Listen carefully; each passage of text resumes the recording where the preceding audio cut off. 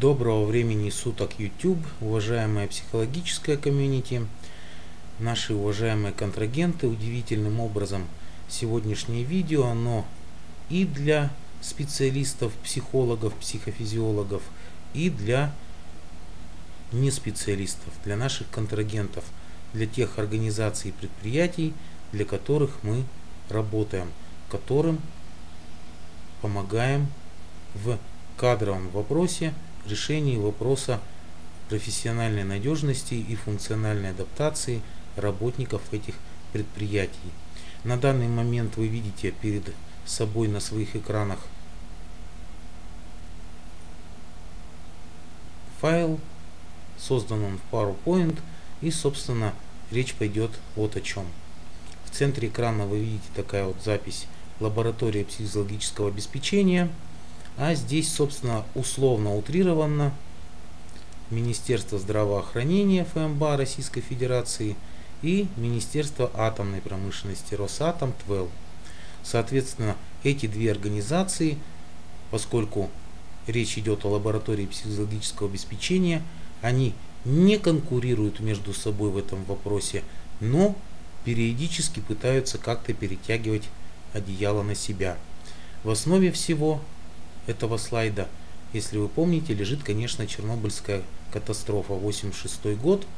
И, соответственно, первые лаборатории появились, которые были призваны следить за тем, как обстоят дела у работников предприятий не с позиции их давления, зрения и так далее, как это происходило до этого, а именно с позиции психологии и в каком-то процентном соотношении психофизиологии.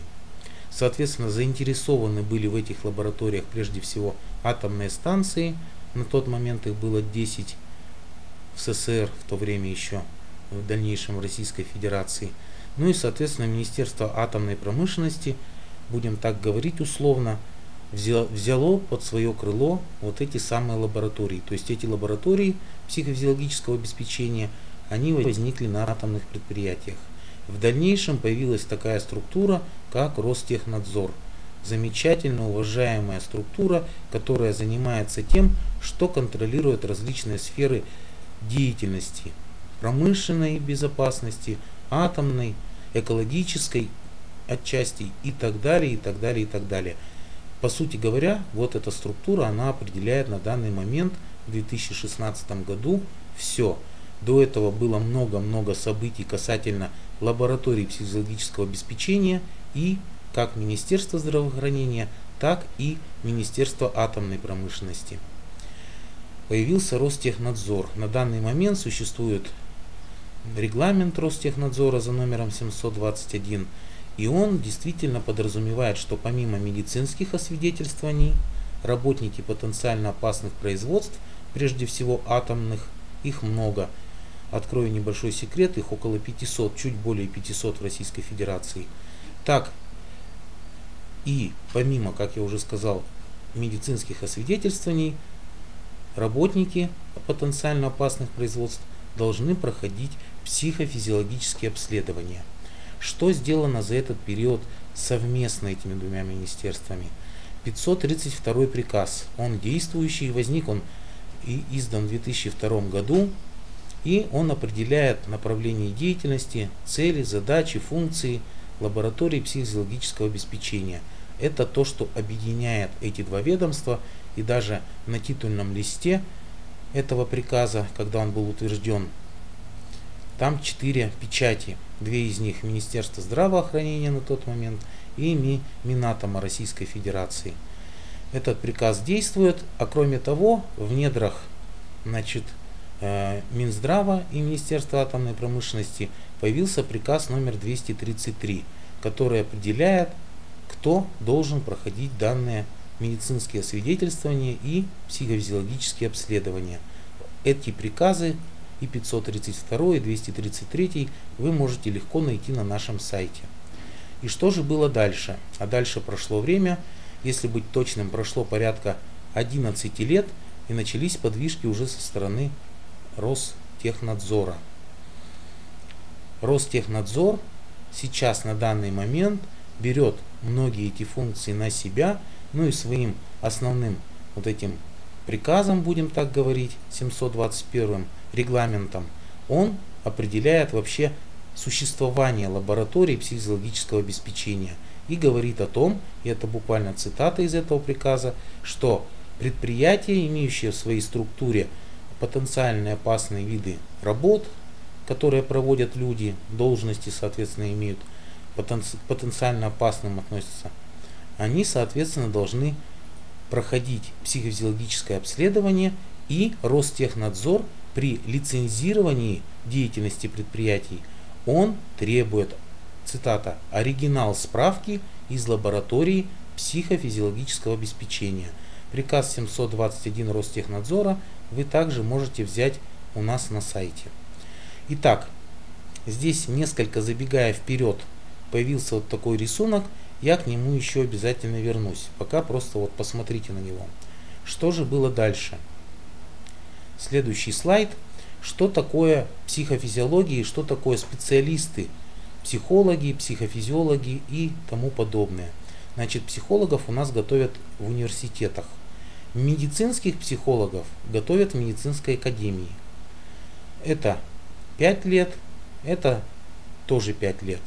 Соответственно, после окончания университета психолог по диплому может пройти повышение квалификации или переподготовку. Длительность ее составляет 4 месяца, то есть он 5 лет занимался психологией, затем 4 месяца он обучается и, соответственно, в этом же своем альма-матер, в университете, может быть в другом, не обязательно в альма-матер, но тем не менее получает диплом о повышении переподготовки квалификации и становится медицинским психологом.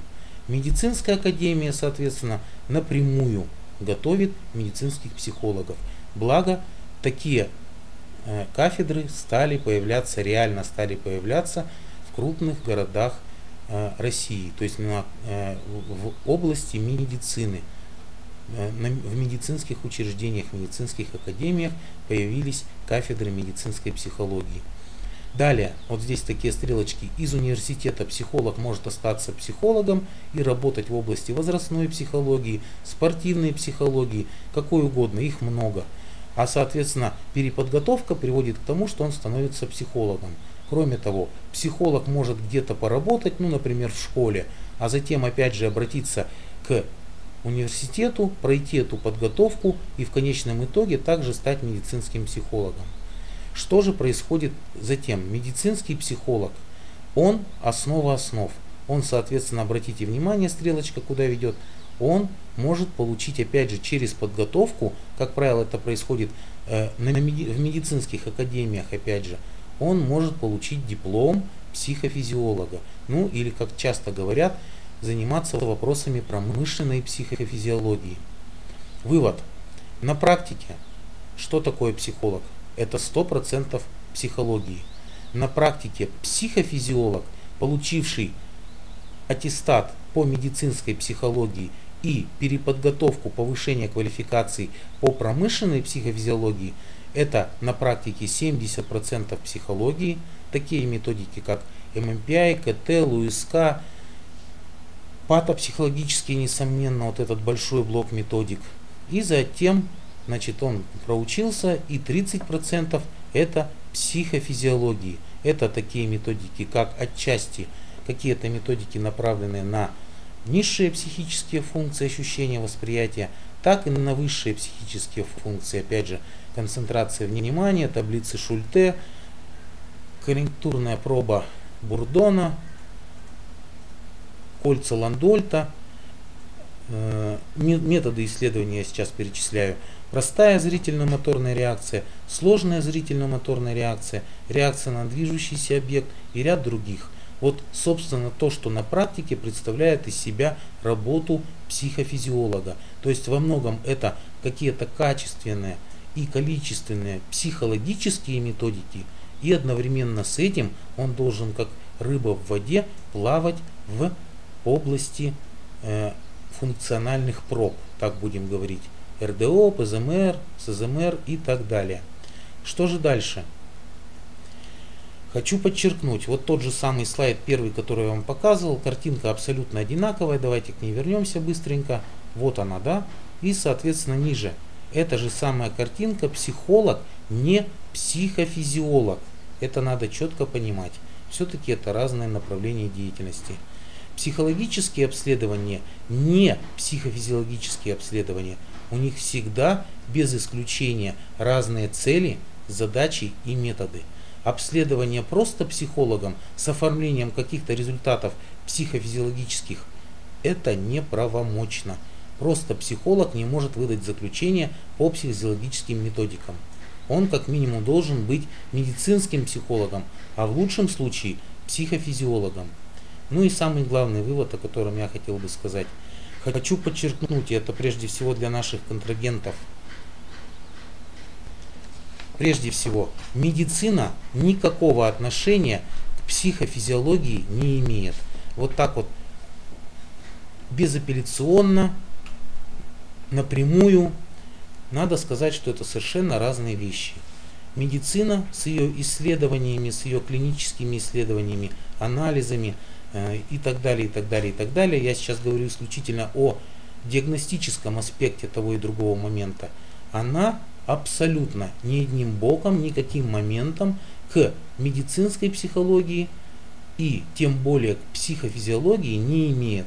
Медицинская психология, да, все-таки медицинские психологи находят себя в большинстве случаев где-то в клинике, в психиатрической, в наркологической и так далее.